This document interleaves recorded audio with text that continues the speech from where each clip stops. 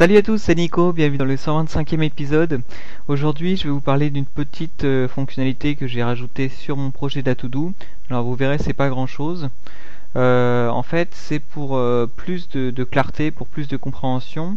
j'ai rajouté dans les paramètres la possibilité de choisir quel projet et donc quelles personnes vont être affichées dans notre liste des filtres. Donc on aura deux choix, donc soit de tout afficher, soit d'afficher uniquement les projets actifs. Et euh, donc afficher uniquement les projets actifs, c'était euh, ce qui était euh, validé par défaut et quand on n'avait pas le choix, c'est-à-dire que dans notre liste de projets, on avait uniquement les projets qui avaient au moins une tâche encore à réaliser. Alors pourquoi j'avais fait ça? Pour que bah, quand on travaille sur plein de projets, donc au fur et à mesure qu'on va utiliser la to-do, on va passer de projet en projet, on va avoir une liste qui va s'agrandir comme ça et euh, pour euh, euh, faire disparaître tous ces projets sur lesquels on ne travaille plus, pour éviter qu'ils soient toujours présents dans cette liste de, des filtres, eh bien j'avais fait en sorte d'afficher dans cette liste là uniquement les projets actifs. mais eh bien cette manière de faire peut un petit peu être difficile à comprendre lorsqu'on débute, lorsqu'on vient de, s'enregistrer sur Datoudou.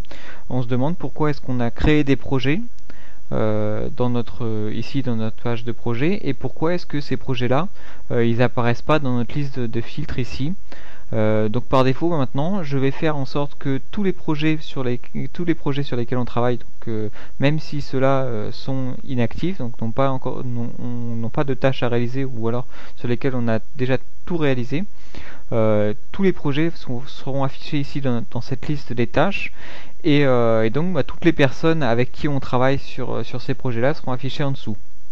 Parce que bah, cette liste de personnes, euh, elle dépend des projets qui sont affichés ici. Si auparavant j'avais qu'un seul projet actif, je voyais ici les personnes uniquement de ce projet-là. Alors que bah, maintenant je laisse le choix soit de tout afficher, soit d'afficher uniquement les projets actifs et donc les personnes de ces projets-là. Il faut savoir que dans l'autocompléteur euh, qui est mise en place ici, euh, on retrouve les projets euh, de cette liste de, filtres ici et les personnes pareil. Donc en fonction de nos paramètres, de ce qu'on aura choisi d'afficher, eh l'autocompléteur nous proposera soit tous les projets sur lesquels on travaille, soit uniquement les projets actifs. donc voilà, bah, je vais continuer moi à rajouter des petits paramètres qui permettront de vraiment configurer Datoudou comme on le souhaite. Il euh, faut savoir que cette liste des filtres, on l'a dans la, page des tâches, mais également euh, sur les fichiers, puisqu'on pourra trier les fichiers par projet, euh, par personne qui a envoyé le, fichier, etc.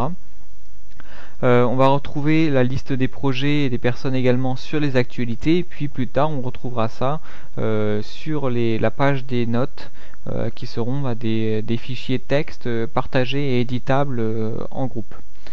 Euh, donc bah, je vais continuer à rajouter des petits paramètres qui permettront de configurer, d'avoir vraiment un data-to-do qui correspond euh, euh, qui nous correspond complètement. Donc je vais permettre de configurer un petit peu l'affichage, de, choisir quelle page, sur quelle page on va arriver lorsqu'on va se connecter.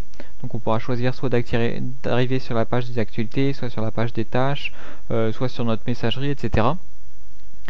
Et je vais commencer à faire euh, d'autres thèmes pour pouvoir euh, choisir euh, l'affichage. Donc non pas changer le, logo qui est ici et d'autres petites choses qui cela seront plus de, l'ordre du, changement personnel, mais bien créer d'autres thèmes pour pouvoir choisir parmi les thèmes que j'aurais développés, puis pourquoi pas parmi les, thèmes d'autres utilisateurs, pour pouvoir avoir une apparence qui nous convient parfaitement. Euh, donc je vais continuer dans cette voie-là et puis je vous montrerai dans la prochaine vidéo l'intégration euh, à Twitter que, j'ai réalisé. Donc bah, à bientôt pour une prochaine vidéo et puis d'ici là n'hésitez pas à me dire ce que vous en pensez dans les commentaires. Allez salut